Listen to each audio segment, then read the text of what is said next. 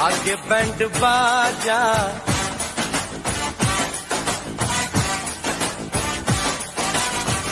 आए दुल्हे राजा गोरी को दरवाज़ा।